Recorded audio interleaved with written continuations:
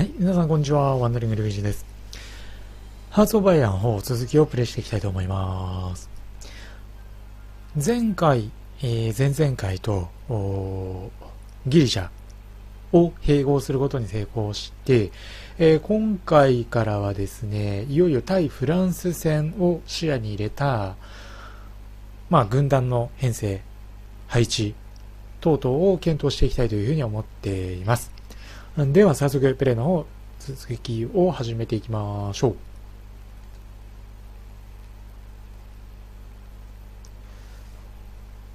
で、えー前回前々回かな。あのーシミ取りのレーザー治療を受けましたっていうね、えーご報告。ゲームの実況と全く関係ないんですがさせていただいたと思うんですけどあの経過の方はね、えーまあ1週間とか2週間とか、えー、目処がいい、キリがいいタイミングでご報告をしていきたいなと思うんですが、毎日の様子はですね、実はツイッターの方で、えー投稿してますんで、まあ、興味ある方ほとんどいらっしゃらないとは思うんですが、あの、もしね、えー、シミ取りってどんなもんじゃないと、どんくらい効果あんのっていうね、えーご興味ある方もしいらっしゃれば、ツイッターの方もね、覗いていただければと思います。ツイッターのリンクは動画の、えー解説欄、説明欄のところにリンクを貼ってありますので、えー覗いていただければなというふうに思います。で、えーっと、飛行機をそろそろまた配備していきたいなと思うんですが、重点的に配備していきたいところをちょっと考えていきたいなというところとですね、あとは、なんだかんだ言ってですね、今後、その必要になってくるであろう場所に対しては逆に新しく航空機を設置していく基地を設置していくっていうこともまあもしかしたらやっていった方がいいのかなというところなんですよね。人的な資源がリソース不足か。人が足りないのは本当にどうしたらいいんでしょうね。人が足りなくて航空基地が作れないってなるとあんまり嬉しくないですもんね。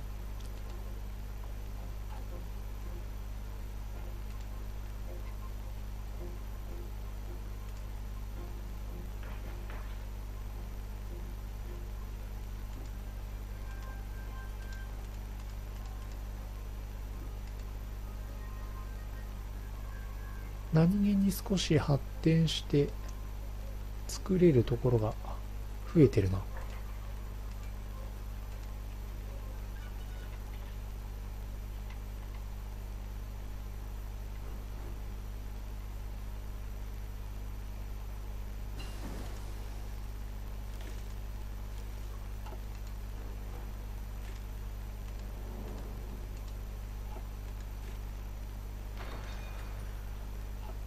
えーっとそうするとまずは建設系ですよね。合成とかこの辺やってもしょうがないし海軍基地もね微妙なんでとなると対空砲とかあと航空基地は欲しいんですよね。航空基地。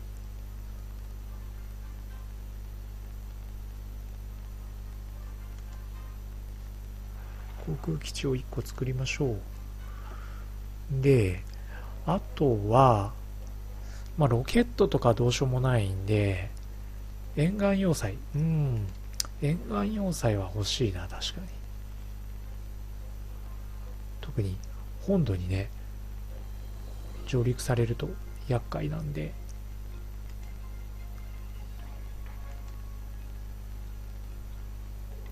沿岸に要塞は確かに欲しい。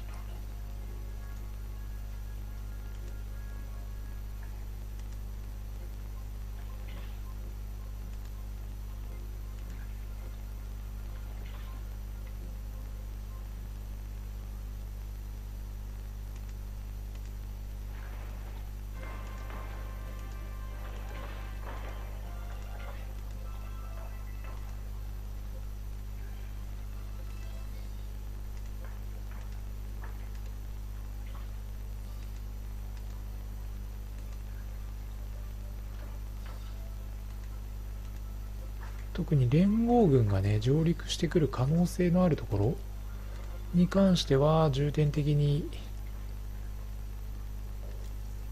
用意しておいた方がいい気がしますね。あとは陸上要塞か。まあローマ近郊には陸上要塞あってもいいでしょう。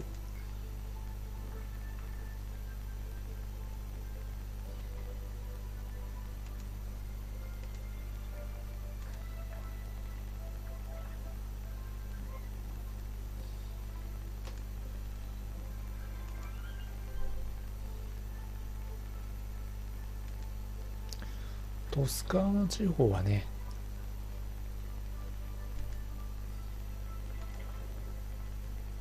イタリアの主要な場所ですからね。あとは沿岸要塞どうだろうなエチオピアとかにも一応上陸されたら困るんでまんべんなくは用意しておきましょう。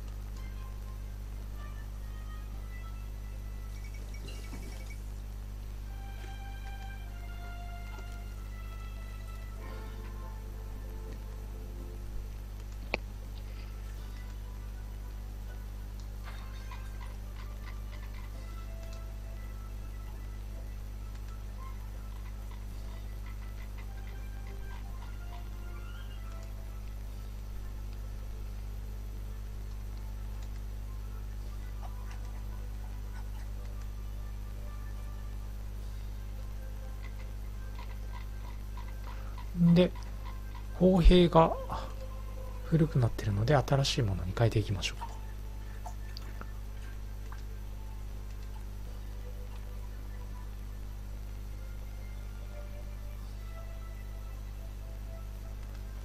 でレーダー基地は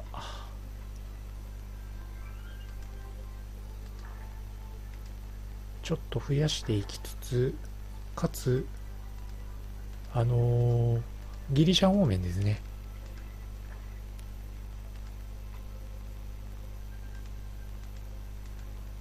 ここは敵に奪還されたくない。場所ですからね。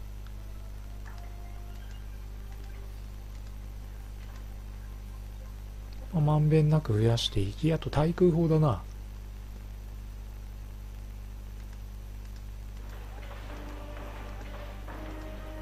対空砲とかもどうなんだろう。まんべんなく作っておいてで特に重要な拠点に関しては重ねていく感じでいいのかなっていう気はするんですけどね。その辺り皆さんどうしてるんでしょうね。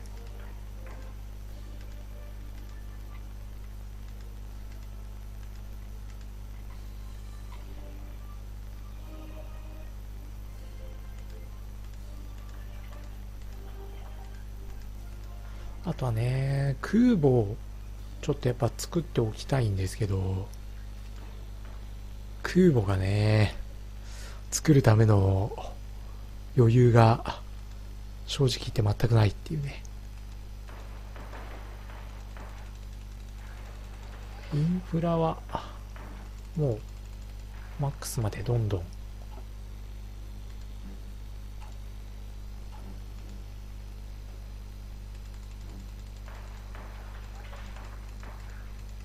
開発していきましょう。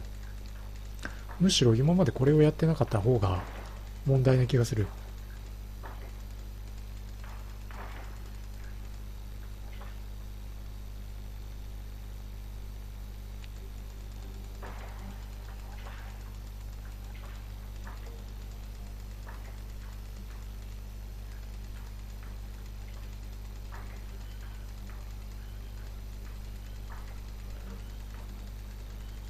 まあ、ただイタリア国内の方はそれなりに発展はしているんだよね。してますよね。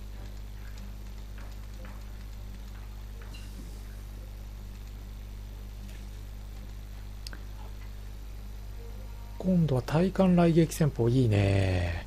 この辺りがその空軍の作戦として使えるようになってくるとだいぶ不利な海戦でも割と勝率が上がってくるんじゃないかなって気もしますね。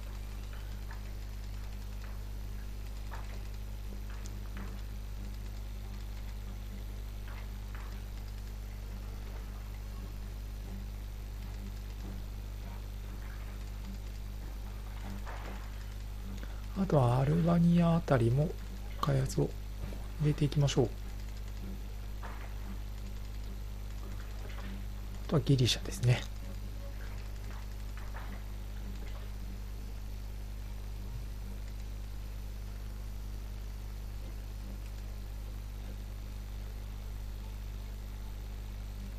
よし、こんなところでいいかな。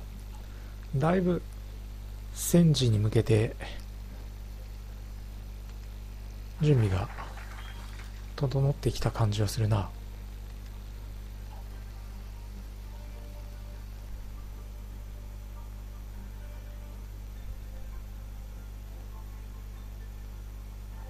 リビアの製油所これ入れましょう。これでリビアから石油が取れるようになれば御の字ですね。で人的資源だよな問題は。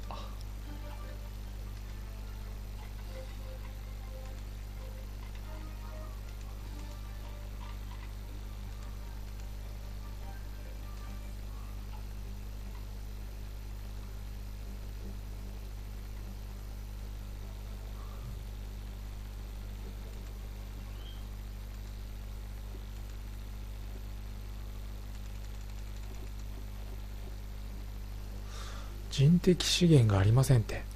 航空隊を配置するための人材すらいないか。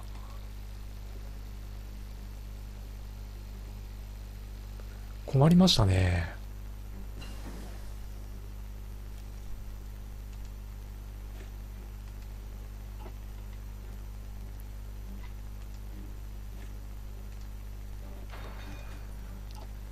さて人が足りないっていうのはちょっと全く想定してなかったけど。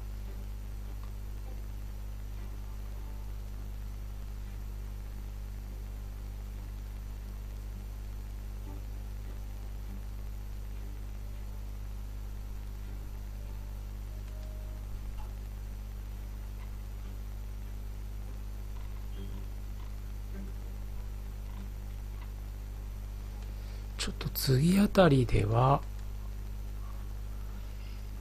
そうだななんかその人を増やすことができるようなそういう政策をしていかないとまずいかな。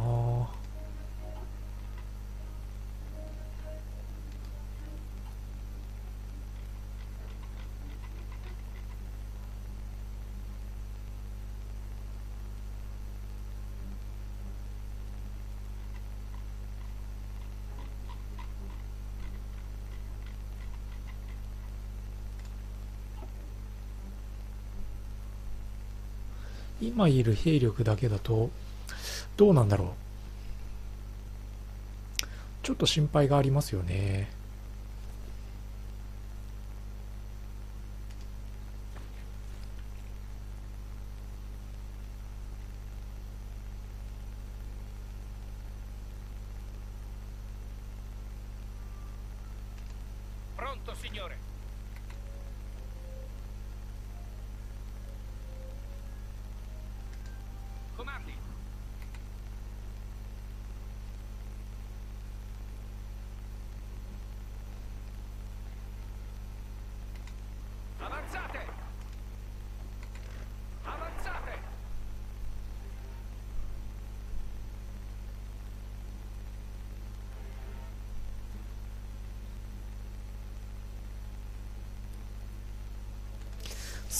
さて、どうしたもんかな。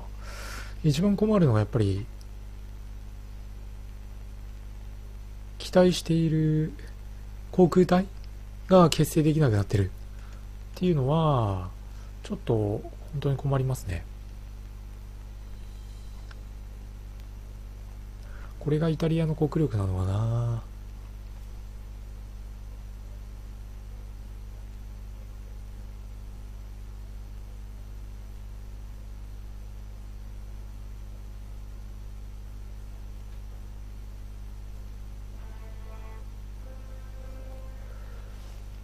徴兵可能な兵士を増やすには厳格な徴兵法の制定が必要だと。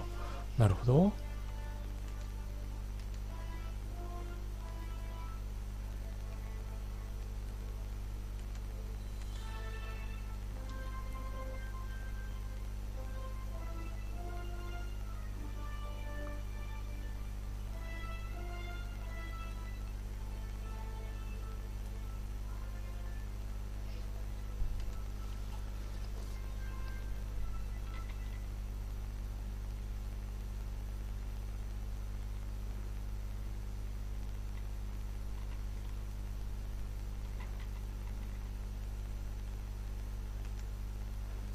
限定的徴兵っていうのを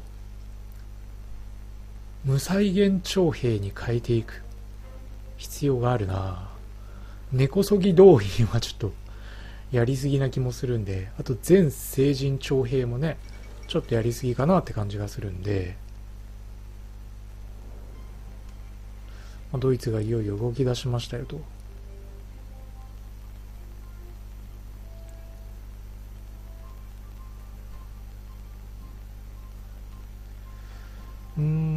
工場の生産量や造船所の生産量がマイナス10%とかになるものの徴兵可能人口が10%アップするっていう意味ではこの無再現徴兵にするしかないよな。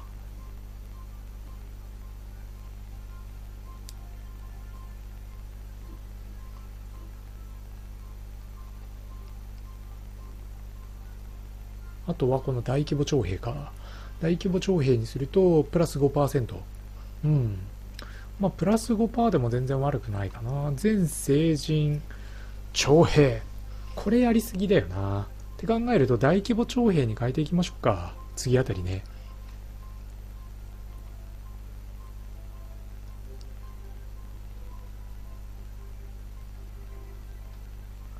150政治力が溜まったら、えー、ちょっと徴兵の制度を変えましょう。威力はやっぱりもっと欲しい。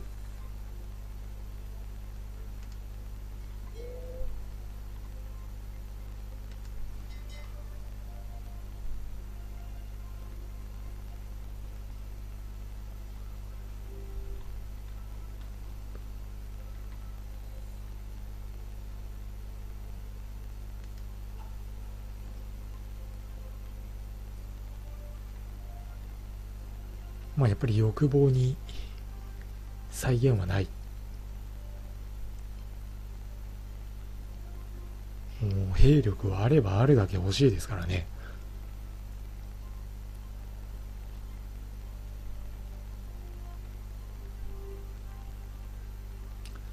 さてと、そうすると、フランスとの国境に展開している対フランスの第1軍と第2軍。まあ、第2軍の方が精鋭ではあるものの、まあ、第1軍を壁にして第2軍で突破していくっていう感じかな。んで、えっと、一方の、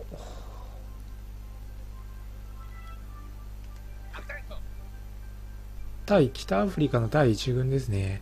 ここの前線をもうちょっと厳格に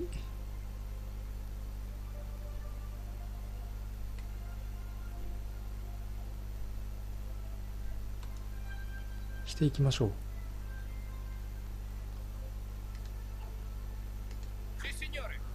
で正直言ってこの第2軍北アフリカ第2軍の方に関してはあまり期待ができないといえばできないんで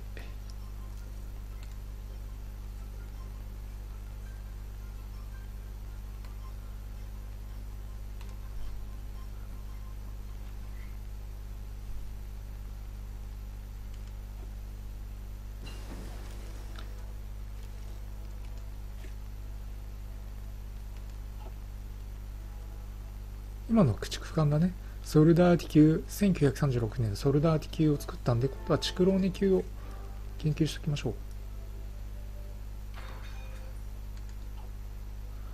う。でここで政治力が156まで溜まってるので徴兵法を大規模徴兵に変えていきましょ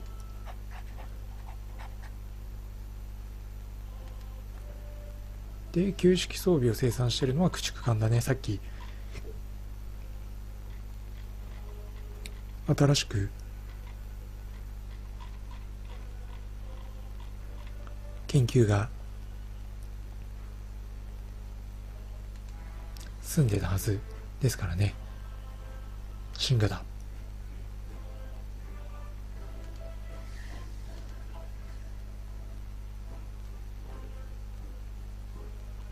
でこれによって多少なりとも航空隊を結成できるようになったはずだ。というわけでそうなるとやっぱ重点的に配備していきたいところに人を出していくしかないよね。おおめちゃくちゃ増えてるね。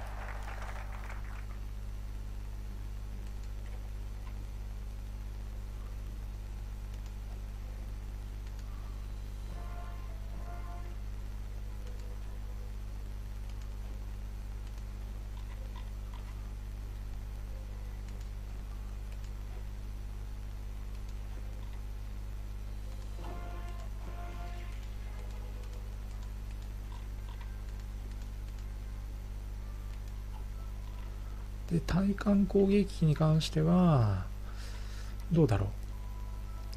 このサルディーニャに大量に配備していきましょう。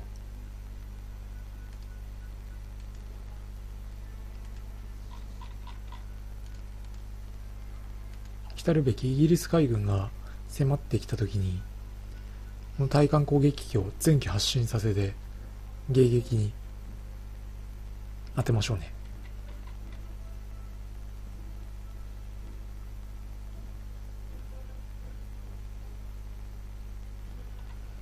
要塞化への注力ってなんか魅力感じるけどな。今やっぱ空軍改革なんですよね。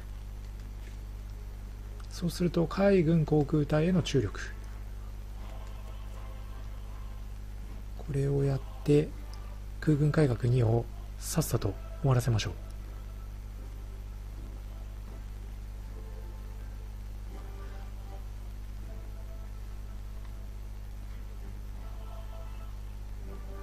1 million でいいのかな？これは100万人でいいのかな？1メガなんで1 million なんで100万人の人的余裕ができてるはずなのでだいぶだいぶ余裕が出たはずですね。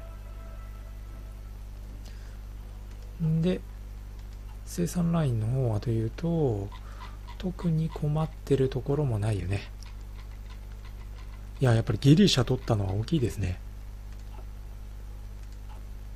徴兵のラインも、まあ、順調、順調といえば順調かな。装備品がね、えー、ちょっと、遅れているというのと、あるかもしれないですが、訓練の効率をもうちょっと上げる、ために、どうかな。長官、陸軍の長官の更迭をした方がいいかもしれないですね。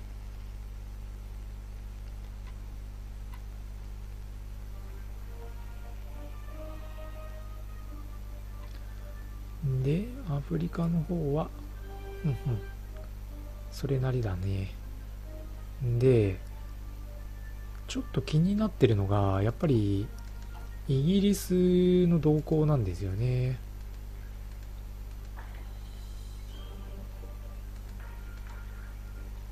イギリスは本当に強いですからね。イギリスの動きがわかるように、イギリスと国境を接しているところに関しては重点的にレーダーを配置していきましょう。あとはエチオピアに関しては航空機をちょっと配置しておいた方がいいかな。戦闘機。対艦攻撃機はいらないな。内陸なんで。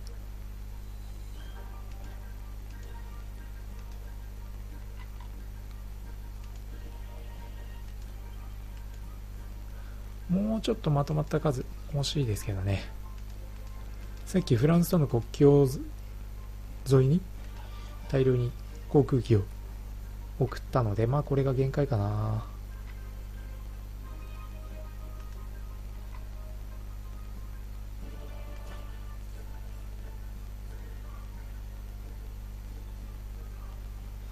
イギリスの師団も展開してるねやっぱり。ってなるとこの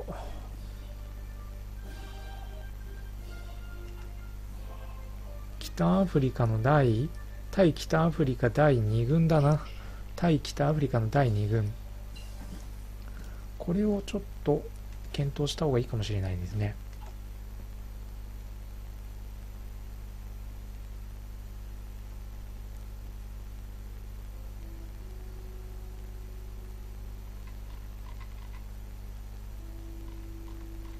どっちの系統に進むかだなここは。ロケット砲とかっていうのもありだよね。発展型ロケットあとはこの機関砲。いやー難しいな。そろそろきっちり決めていった方がいいな。機関砲の方がいいかな。こっちにしましょう。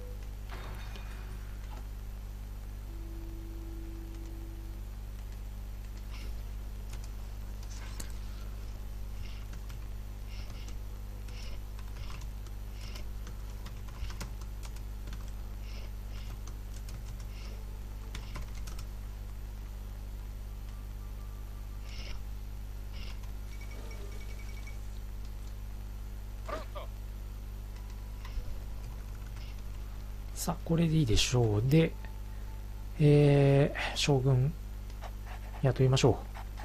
ちょっと将軍の数は増やさないと、もう、これで、司令官がいなくなってしまったので、要検討ですね。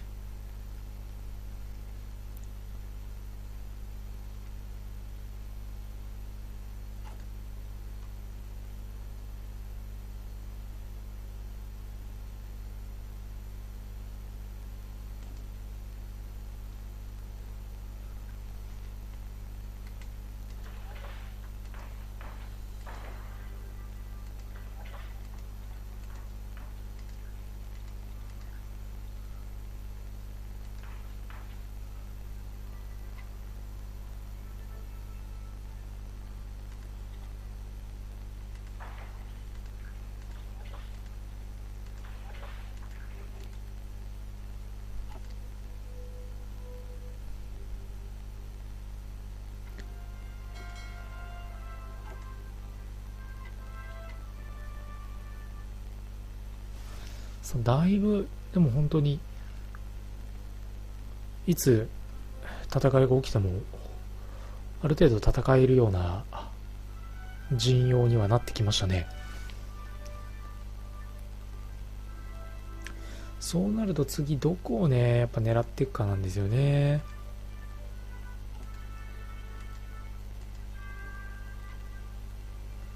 トルコか、まあ、ルーマニアハンガリー。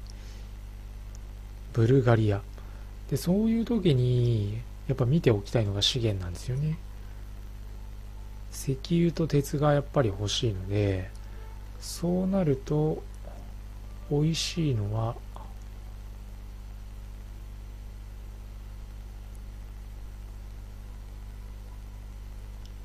うんポーランドとかはね結構ありますけどね。こうやって見ると鉄が12の8石油が4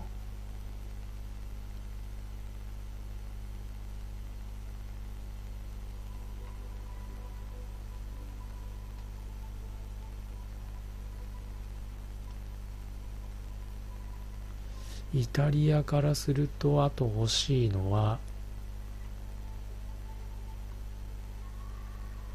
あそうかリビアで製油所ができたのは大きいな。助かりますね。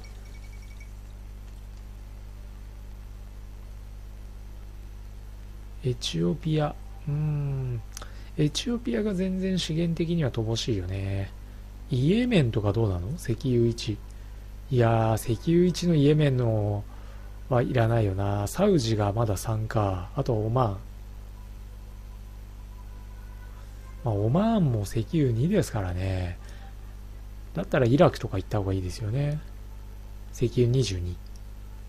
イランに関しては14の12ありますからね。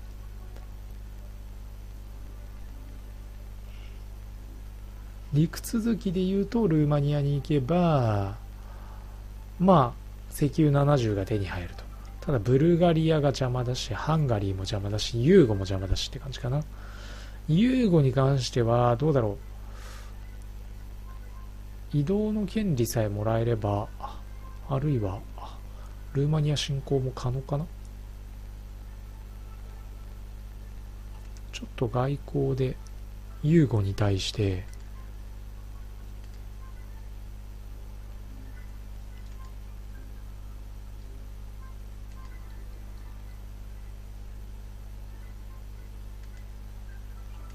これでユーゴに対しては、えっ、と、通ることができるようになったので、ルーマニアに侵攻が可能か。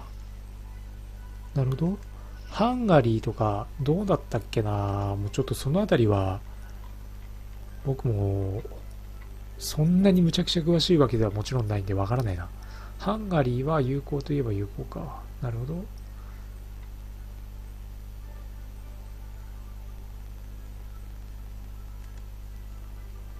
承諾しないとなるほど。ってことは会見をやっておいて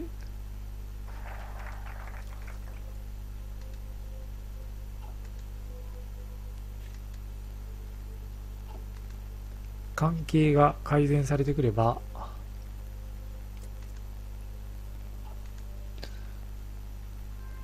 ブルガリアをブルガリア、ハンガリーと不可侵条約を結んでルーマニアを取るというのがいいかな。ハンガリーもね、美味しそうだけど。ハンガリー美味しそうだな、こうやって見ると。鉄が20、石油が1っていうのがな。今、資源で言うとどうなってんだ？資源不足にはなってないけれども、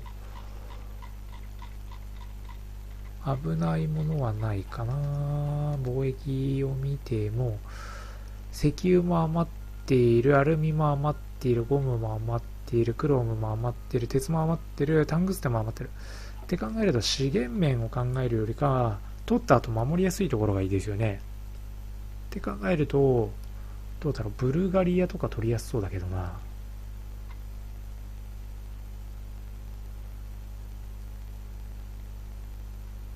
ブルガリア、この辺りに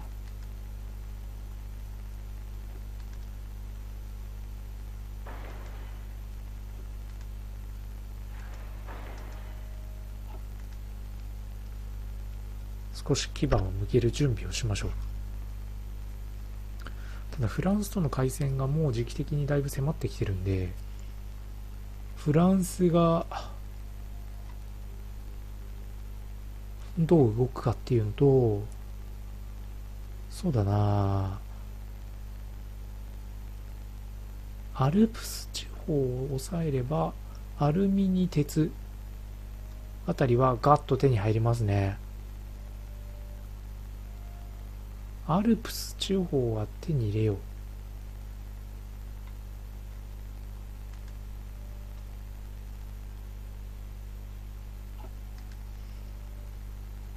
考えると少し兵力をやっぱり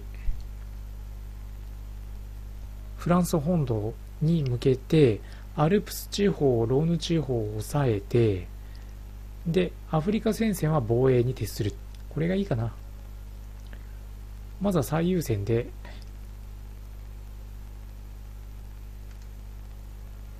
サボイ。プロバンス。アルプス。この3つの州を獲得しましょう。サボイ。アルプス。プロバンス。この3つですね。そうするとアルプス。サボイはまあどうでもいいっちゃどうでもいいけどな。プロバンス。アルプス。アルプスを抑えれば鉄が56だもんな。これ大きいですよね。で、うまくいけばラングドックまで進行するとで、それらを活用してもらえば、まあ、だいぶ楽になりますね。よしよし。なんとなく先が見えてきましたよ。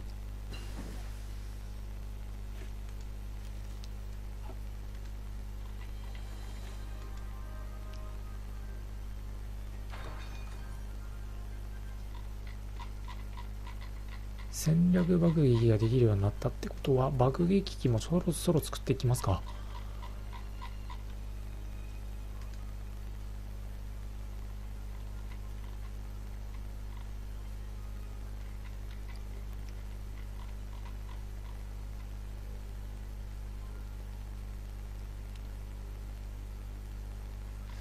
戦略爆撃機が欲しいなってなると次の研究で戦略爆撃機を作ってからにしましょう。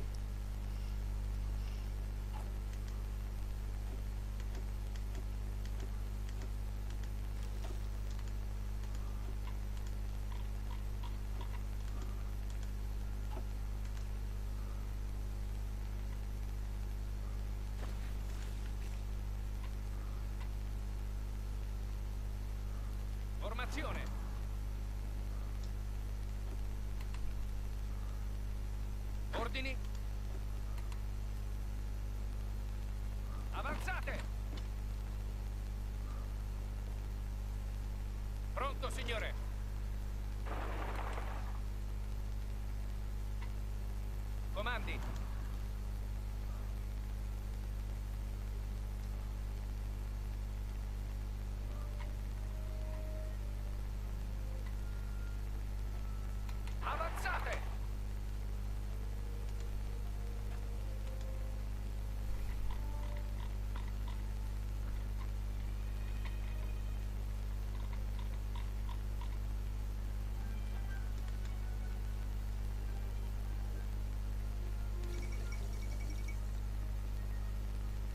これでポーランドにドイツが侵攻しますね。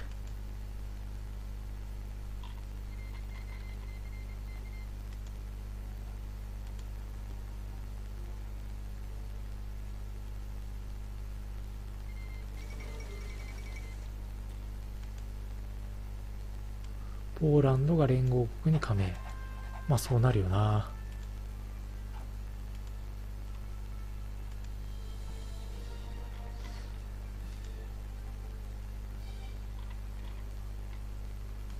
ここは義勇軍を派兵しておきましょう。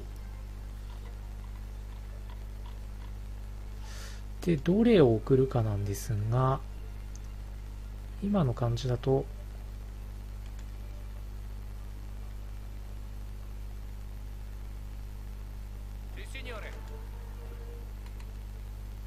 この西段を送りましょう。ちょうど使い道がなかった西段なんで。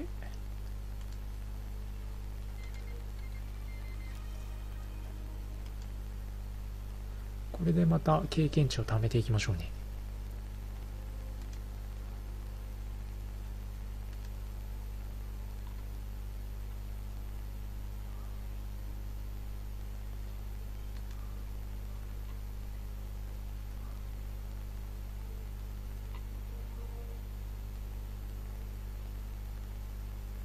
ついに世界大戦が始まるな。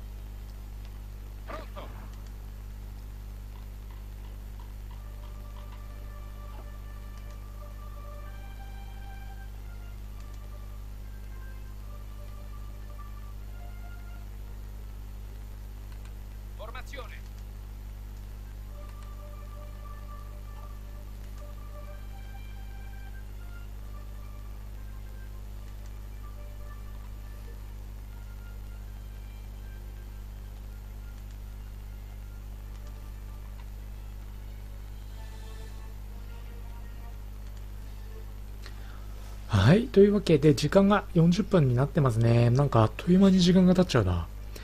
えー今回はドイツがポーランドに侵攻ということで、えーイタリアからも義勇軍を西南派兵しましたが、えー次回はその続きですね、えプレイの方していきたいと思いますので、ぜひぜひ引き続き応援をいただければと思います。またお気づきの点等あればですね、えー動画、チャンネルのコメント欄もしくは Twitter の方まで、えーお寄せいただければ確認をさせていただきたいと思いますので、えーよろしくお願いいたします。というわけで今回はここまでにしたいと思います。はい。えーご視聴ありがとうございました。この動画が面白いと思った方はチャンネルの登録をお願いいたします。動画の視聴画面の下の方からチャンネル登録することができますので、ぜひよろしくお願いいたします。また、動画の解説欄に Twitter のリンクも貼ってありますので、ぜひ Twitter のフォローもよろしくお願いいたします。